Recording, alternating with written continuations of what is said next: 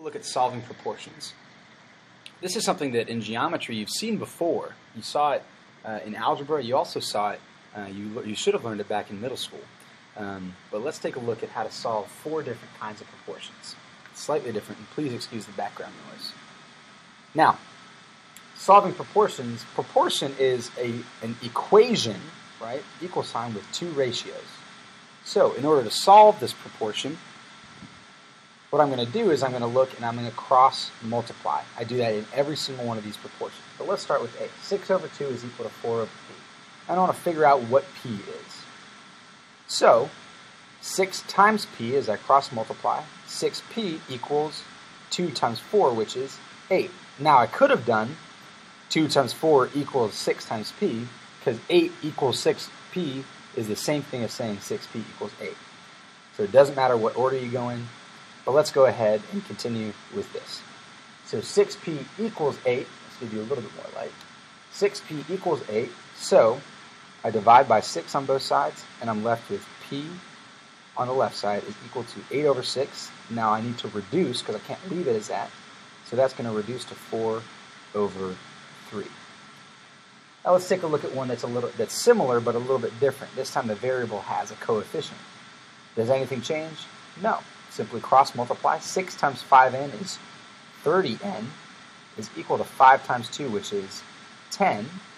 So I divide by 30, divide by 30, and I'm left with n equals 1 over 3.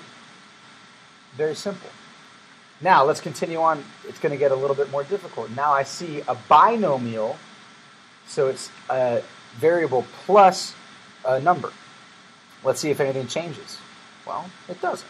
Simply cross multiply and solve. So 9 times 6 is going to be 54, which equals 8 times the whole numerator here. So 8 times k plus 6 is not just 8k plus 6.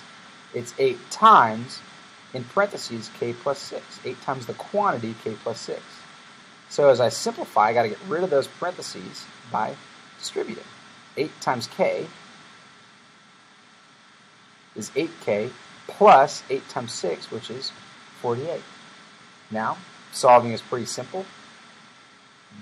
Got to get the variable by itself by subtracting 48 from both sides.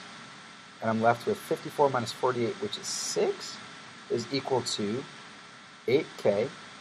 Now I just divide by 8, and I'm left with k is equal to 6 over 8 reduces to 3 over 4. Last but not least, I'm given n minus 9 over n plus 5. Oh, does anything change here? Nope. I simply cross multiply again. You've got two binomials, but nothing changes. n minus 9 times 4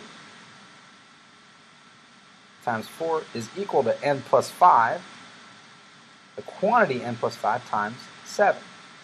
And whether the coefficient is after or before the parentheses, nothing changes. I still distribute.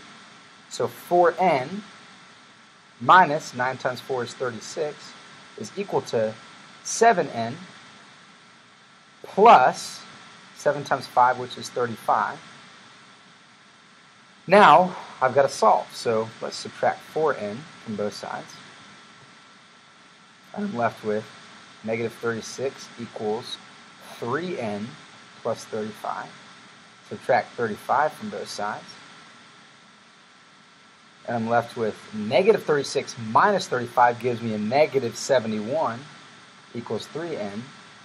So when I divide that by 3, divide that by 3, I'm left with, I'm running out of space here, n is going to be equal to, can I reduce this at all? Nope, so I just leave it as negative 71 over 3. And that is the solution. Nothing changes when the proportion is simply numbers in a variable, cross multiply and solve. When it's two binomials and a couple numbers, cross multiply and solve. And that is how we solve proportions.